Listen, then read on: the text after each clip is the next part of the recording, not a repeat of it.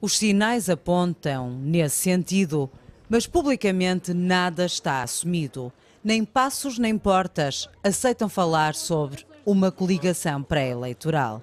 Eu já vos disse que a nossa prioridade como partido são as eleições do dia 29 na Região Autónoma da Madeira.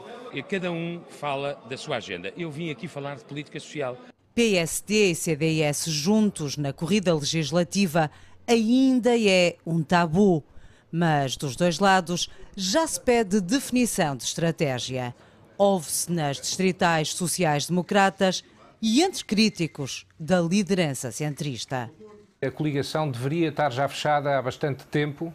Tem que ser muito mais do que um casamento de conveniência, tem que ser muito mais do que uma união de facto.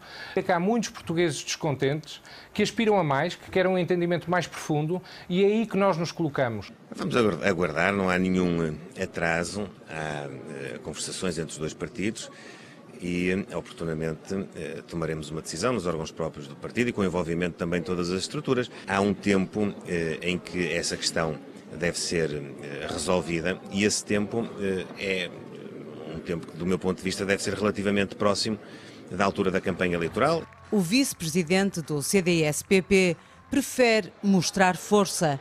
O partido é capaz de concorrer sozinho. O CDS é um partido político, deve estar preparado para ir a votos por si, independentemente das circunstâncias e dos casos em que vá concorrer coligado.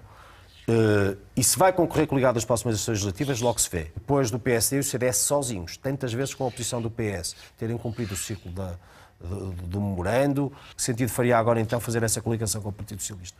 As últimas sondagens mostram se PSD e CDS forem juntos às legislativas, conseguem, no mínimo, um empate técnico com o Partido Socialista.